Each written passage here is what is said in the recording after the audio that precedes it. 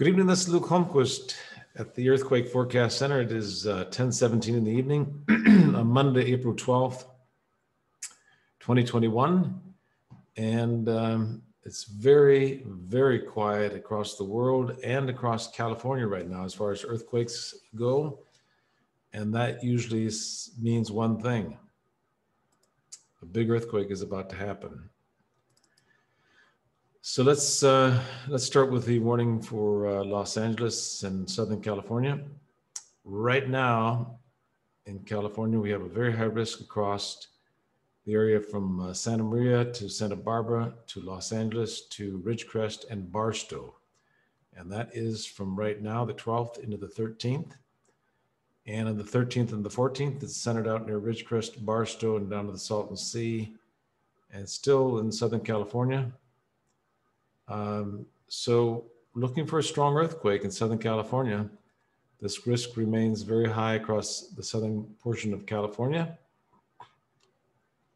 And it's very, very quiet. You'll notice here, uh, no earthquakes uh, 2.5 or larger during the last 24 hours. And uh,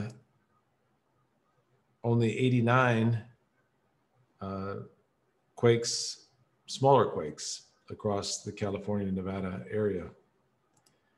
And across the world, usually there's about 25, 30, and right now there's only 15. So it's very quiet, quiet across the world. There was a uh, 4.3 earthquake down here in northern New Zealand, and that was in our warning area. We'll look at that real quick here. In New Zealand, and you can see we had a very high risk there. That's still very high risk for the next uh, 24 hours or so. And that's where that 4.3 occurred. So uh, let's go back through all the forecasts again. We'll start at the beginning. California, strong earthquake is likely in the southern portion of California, most likely in the area northwest of Los Angeles to Ridgecrest to Barstow during the next 48 hours. Same here on the 13th and the 14th. And in Alaska, the risk is uh, 12th, 13th, and 13th, 14th. Here's when the risk gets uh, very high around the Anchorage area. That's the April 14th to the 15th, when we could get a 5.0 earthquake or larger in the Anchorage area on the 14th and 15th. So watch for that. In Chile, the risk is centered right now close to Santiago, Chile, 12th into the 13th, right here. Here's the Santiago, Chile, and there's La Serena. So in between La Serena and Santiago, Chile, expect a 5.0 to 5.5 and uh, during the next 24 hours. And then that risk moves uh, east of uh, Santiago after that. In Italy, the risk across uh, the nor- uh, east central Italy right now, and then uh, the 12th and the 13th across northern Italy. And then on the 14th and 15th, just a moderate risk down in the south. So the highest risk right now during the next 24 hours is in the northern portion of Italy and the far south part of Italy. In Japan, the risk right now is right here, southeast of Tokyo.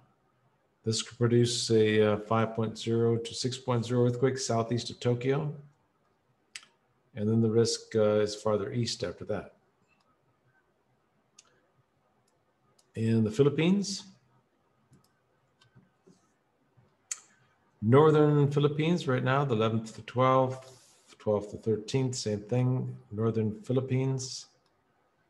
And all the way down, well, on the 13th, 14th into the 15th, uh, significant earthquake risk across the southern portion of the Philippines beginning on the 14th and 15th. In Greece, the risk right now is on this map here is in the northeast portion of Greece, and that could produce a 4.0 to 4.5. And then on the 14th and 15th, uh, the risk is up here in uh, Bulgaria, and that could produce a 4.0 to 4.5 on the 14th to the 15th. In Hawaii, the risk is highest on the 13th and 14th, kind of a moderately high 75% risk there, not extreme risk at all. Central America, uh, 60 to 65% risk here in Western Guatemala. And then the highest risk looks like it's going to be on the 13th into the 14th, tomorrow into the 14th, uh, across uh, Honduras to El Salvador mostly. And then the risk is down Western El Salvador and Southeast Guatemala on the 14th and 15th. And here's our legend on the side here, side of the, the maps. Uh, lime green is 50%, yellow is 75%, 95 is red. 95% risk. All right, here's a place to watch right now during the next uh, 24 hours, and that's Indonesia.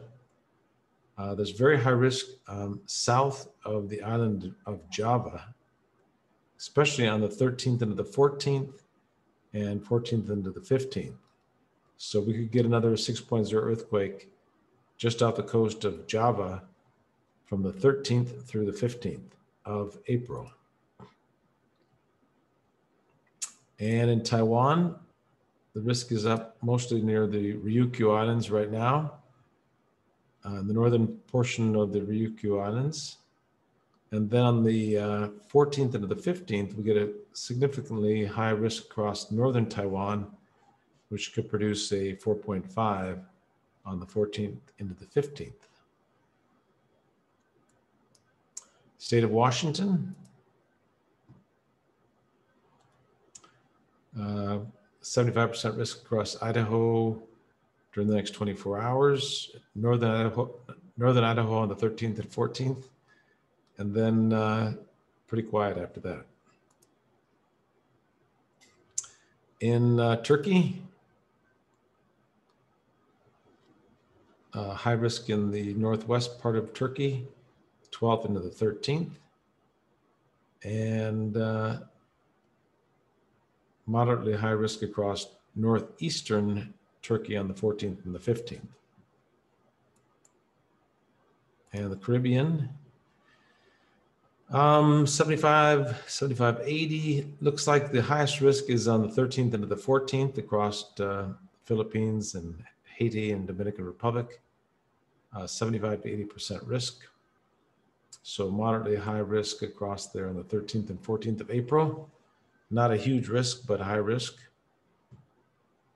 And in New Zealand, as we mentioned uh, early on, there's a very high risk across northern New Zealand right now. And they just got a 4.3 right up here in uh, far northern New Zealand, right in here. And uh, still could get a 6.0 earthquake up here. This is a very high risk in the north part of New Zealand during the next 24 hours. Still high risk on the 14th and 15th as well. And one more map, Ecuador and Peru. Risk continues in the northwest part of Peru, southwest portion of Ecuador. And then let's see, 13th to the 14th.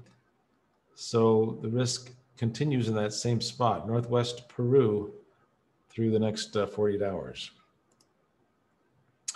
And one more time, I it's very very quiet, and usually it's the quiet before the storm. Uh, expecting a strong earthquake here, northwest of LA, to the Ridgecrest to Barstow area of Southern California during the next 24 to 36 hours. I'm surprised it didn't hit uh, yesterday or today. But uh, again, it's very quiet, and usually that means we're going to have a significant earthquake somewhere, especially around uh, California right here, in Southern California.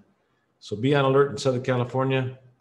We could get a strong earthquake during the next uh, 24 to 36 hours, most likely in the area I mentioned between uh, Santa Maria, Northwest LA, Ridgecrest, and Barstow. All right. Thanks for watching again today. Today is uh, Monday evening, and uh, we'll be back again tomorrow night, Tuesday. And uh, usually, when you get uh, when it gets very quiet, right now there's 14. Now it's 13. Now 13 earthquakes, significant earthquakes across the world, and usually it's about 25 to 30 earthquakes on average during the day. So when it gets quiet like that, uh, you can expect a large earthquake uh, at any time. So be on alert, especially in Southern California, for a strong earthquake during the next 24 to 36 hours. Thank you so much. Again, this is Luke Holmquist, QuakePrediction.com here at the Earthquake Forecast Center. And if you haven't subscribed, please subscribe. And if you already subscribed, thank you to the 165,000 followers on YouTube, Facebook, and Twitter. We will talk to you tomorrow. Stay safe.